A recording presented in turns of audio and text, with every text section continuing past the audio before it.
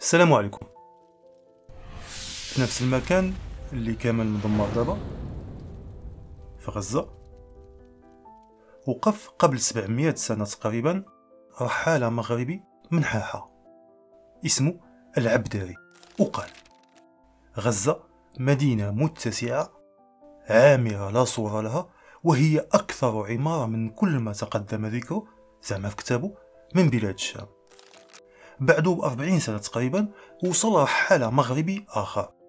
أكثر شهرة هو ابن بطوطة وقال عليها على غزة أنها متسقة الأقطار كثيرة العمارة حسنة الأسواق بها المساجد العديدة وهذه المرة الأسوار عليها. هاد الجوج هم شوية بزاف ديال المغاربة اللي زاروا أو اللي جاو واستقروا عبر التاريخ في فلسطين. اللي كان قال عليها قبل الجغرافي الأندلسي أبو عبيد البكري في كتابه المسالك والممالك أن حدودها في عهده كتبدأ من طريق مصر من مدينة اسمها أمج ثم غزة ثم الرملة. عبر التاريخ غادي نعرفوا من مصادر مغربية كثيرة أن مغاربة بزاف توجدوا تما اللي استقر واللي جا تجارة أو حج وحتى اللي جا باش يجاهد. رحال بن جبير مثلا غادي يعاودنا والصليبيين كيحتلوا الشام أنه شاف المغاربة يفرض عليهم ضرائب أكثر من المسلمين الآخرين حيث هما اللي كانوا معروفين تما باشتراكهم في الحروب. وملي غادي يوصل الزمن اللي غادي يزور فيه الرحالة عبد الله أبو سالم العياشي القدس وهو المعاصر لبداية الدولة العلوية في المغرب فحتى هو غادي يعاود في كتابه المعروف بالرحلة العياشية على مزار اسمه طور زيتا كاين شرق المسجد الأقصى وكيطلع على القدس كلها. وغادي يقول أن هذا المكان كان في يد النصارى حتى جا شيخ المشايخ وخدوا منهم بأموال كثيرة دفعها لهم. غير باش يرجع المكان وقف للمسلمين وأن هذا الشيخ كان اسمه محمد بن عمر بن محمد العلامي المغربي. أجي نعاود لك الحكاية لكن هذه المرة ماشي من الأول.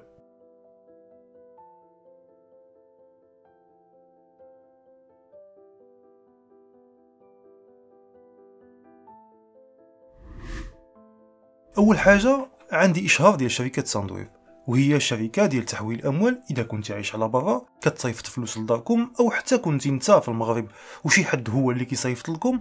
فبهذا التطبيق تقدر تصيفط فلوس من أوروبا أو أمريكا للمغرب ويوصلوا بعد ثواني بأحسن ثمن ديال الصرف موجود في السوق وبلا مصاريف ديال التحويل. غادي تلقى الرابط ديال هذا التطبيق في الوصف ديال هذا الفيديو.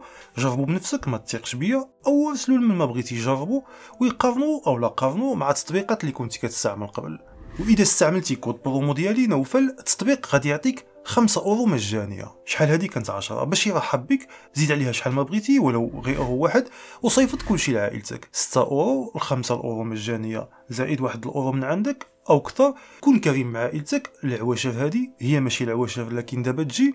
المهم انت غادي تربح الشركة غادي تربح وحتى أنا غادي نربح. والأهم مولين الدار غادي يربحوا التطبيق امين والشركة اللي وراها كبيرة.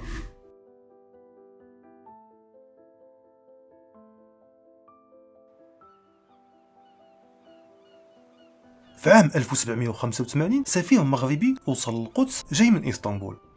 إعجابه كان كبير بالمدينة وأول ملاحظة ليه على القدس كتبها كانت أن للقدس سور حصين مبني بالحجارة في غاية الكمال والإتقان وأن لها ستة ديال الأبواب باب العمود وباب الزاهرة تنطق دابا الساهرة والثالث باب الأسبط الأسباط ثم باب المغاربة وباب النبي داود وباب الخليل. في حين ما ذكرش الباب السابع اللي هو الباب الجديد الموجود في عصرنا دابا حيث كان باقي ما كاينش في عهده هاد السفير كان هو محمد بن عبد الوهاب بن عثمان المكناسي.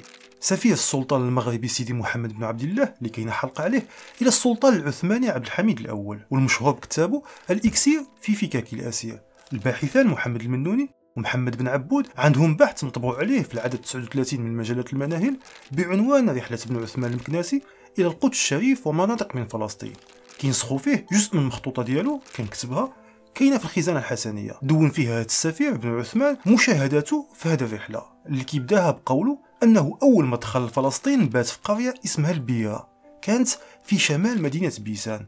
وفحالها فحال المدينة ما بقاتش كاينة دابا حيث سكانها طردوا من أرضهم في عام 1948 السفير المغربي كيسالي رحلته بيت في قلعة اسمها صانور كانت في شمال مدينة جنين الحالية. وبين مجيء وذهابه سيزور الرحال المغربي القدس والخليل وقرية سانجيل وفي مذكراته غادي تحس به بحال شي حوتة كيعوم في بحر كينتمي ليه. مندمج بحال اللي كيقول السي المنوني في بحثه مع المجتمع الفلسطيني كيهضر مع الناس البسطاء منهم كيناقشهم وكيسمع شكواهم وكيعاود لهم حتى على كيفاش كتخط الضرائب من الفلاحين المغاربة في عهده. مشاهدة ابن عثمان المكناسي كتبها هو في الأساس باش يوريها ويطلع عليها السلطان المغربي سيدي محمد بن عبد الله اللي كان معروف عليه بحال اللي شفنا في الحلقة ديالو أنه كان محب للكتب وللعلوم. لكن الأعجب من هذا الشيء كامل هو أن نفس هذا السلطان مرتبط بالنسب بحال آخر زار القدس مئات السنين قبل في زمن المرابطين في عام 1092 ميلادية وعاش فيها وكتب عليها.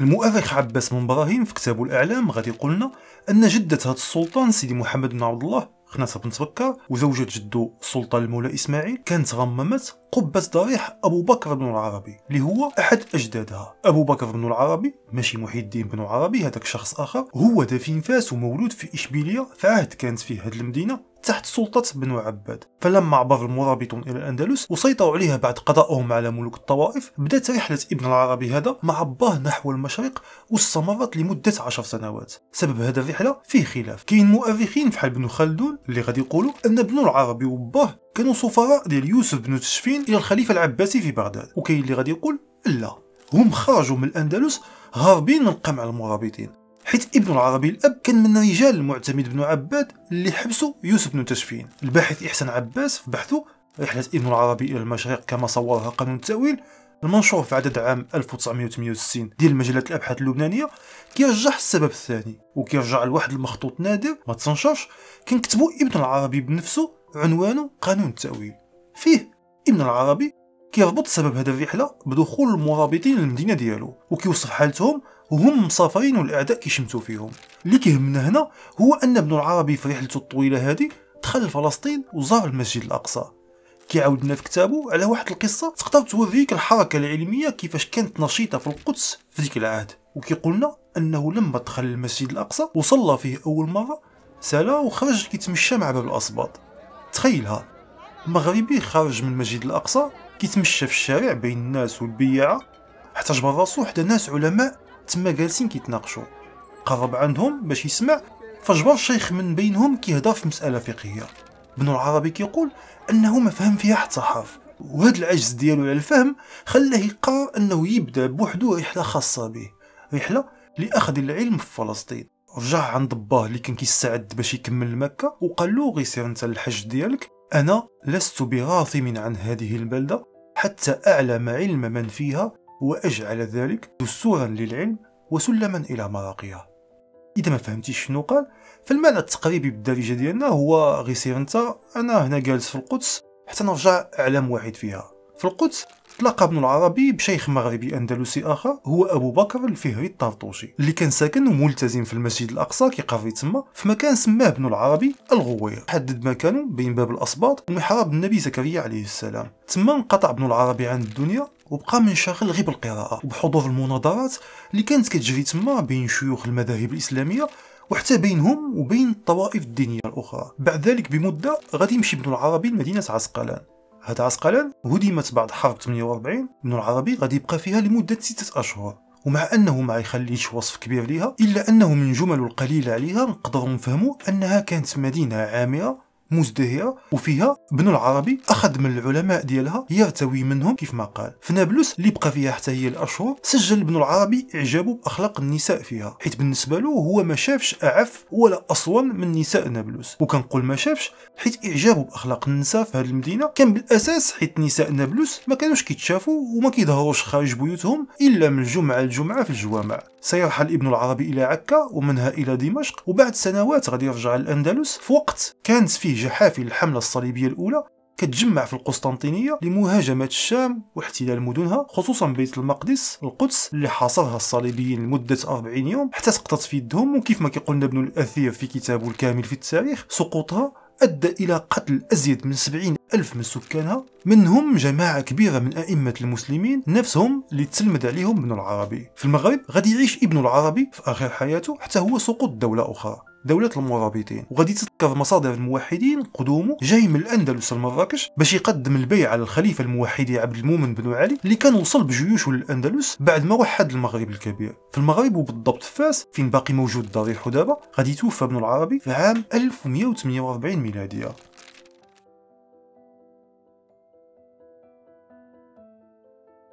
وفي نفس هذه الفترة الزمنية في عام 1154 ميلادية كان رحالة مغربي آخر ولد سبتة الشريف الإدريسي كيقول في كتابه نزهة المشاق أن ديار فلسطين حسنة البقاع. ثم كيضيف أنها أزكى بلاد الشام وأن فيها بزاف أشجار الزيتون. لكن هذا الوصف ديالو دغيا كيتبعوا وصف فلسطين وهي محتلة. في عهده وكيف ما كيقول في كتابه غزة كانت صافي. سيطرت عليها الحملة الصليبية والقدس اللي كيقول أنها مدينة جليلة وقديمة كانت حتى هي تحتلت وكيظهر من وصفه ليها والكنائس ديالها الكثيرة طغيان المظاهر المسيحية عليها. وصفه المسجد الأقصى غادي يكون قصير وغادي يذكر قيمته بصيغة الماضي فغادي يقول أنه كان معظما في ملك المسلمين بينما عسقلان اللي قال عليها أنها مدينة حسنة وبها أسواق كان دخلها صاحب القدس بجيشه الصليبي وكانت تحت يده. الإدريسي اللي رسم أحد أشهر خرائط العالم القديم واللي هو كيف ما كيدل اسمه من نسل الادارسه اهتم أكثر بالوصف الجغرافي. فكان في كل مرة كيحسب المسافة بين المدن الفلسطينية وكيقول مثلا أنه بين رفح وغزة كاين مرحلة وبين بيت المقدس ونابلس يومان ومن الرملة اللي قال عليها أنها مدينة حسنة عامرة إلى نابلس كاين يوم غير هي الملاحظة اللي غادي تكون أكيد اكتشفتيها بذكائك المعهود هي أن الإدريسي ما ذكرش المعارك والجهاد اللي كان واقع في ديك الساعة ضد الاحتلال الصليبي في فلسطين حيث حنا نعرف أن مغاربة كثر كانوا تما. مثلا ابن الأثير غادي قلنا أن شيخ مغربي ذائع الصيت هو أبو الحجاج المغربي الفندلاوي صاحب كتاب تهذيب المسالك في نصرة مذهب مالك. استشهد في الشام في ديك الفترة بالضبط. سكوت الإدريسي راجع لجوج حاجات. واحد أن الإدريسي بحال اللي كيقول لنا براسو في مقدمة كتابه يمكن ما مشاش هو بنفسه للمناطق اللي هضر عليها في كتابه. بل هو غالبا ارسلها الرحاله واكتفى هو بجمع الأخبار منهم والتأكد منها بمقارنتها باللي قرأ في الكتب واللي سمع من أخبار. الدكتور محمد مؤنس في كتابه جغرافيون وضحال المسلمون في بلاد الشام زمن الحروب الصليبية غادي يقول لا هو مشى بنفسه. غير هو بالنسبة لي وانت حر السياق اللي بغيتي كيبقى راي غير مرجح. السبب الثاني هو أن الإدريسي كان في خدمة ملك صقلية المسيحي روجر الثاني فيلاحظ أنه عكس الرحاله المغاربة الآخرين ما عبرش على عداء ديني ضد النصارى في كتابه والعداء الوحيد اللي كان واضح يمكن في كتابه هو ضد الموحدين وضد الخليفة المعاصر ليه عبد المؤمن بن علي اللي كان ديك الساعة مسيطر على سبتة موطن الإدريسي ثم منها مد حكمه ليشمل كل الأندلس. الجزء الأول كيتسالى هنا نتلاقاو دابا يومين الجزء الثاني نهضروا فيه على مغاربة آخرين وصلوا حتى هما للقدس في أزمنة لاحقة ونهضروا حتى على القصة المشهوره ديال يعقوب منصور مع صلاح الدين الأيوبي وحتى على وقف أبو مدين. ما تنساش تستعمل code promo ديالي نوفل. إذا كنتي مهتم بتطبيق Sendwave وإذا بغيتي دابا قلنا أنت شنو بالك؟